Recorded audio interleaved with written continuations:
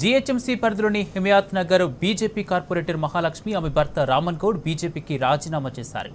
ఖైరతాబాద్ మాజీ ఎమ్మెల్యే చింతల రామచంద్రారెడ్డి తమను మానసికంగా వేధించడంతో పాటు దాడి కూడా చేయించాడని ఆరోపించారు.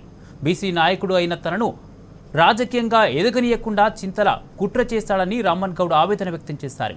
చింతల ఆగడాలను రాష్ట్ర నాయకత్వం దృష్టికి తీసుకెళ్ళినా ఎవరూ పట్టించుకోలేదన్నారు. ఎమ్మెల్యే టికెట్ కోసం తాను దరఖాస్తు పెట్టుకుంటే తన పేరు ఢిల్లీకి పంపకుండా కుట్ర చేశారన్నారు.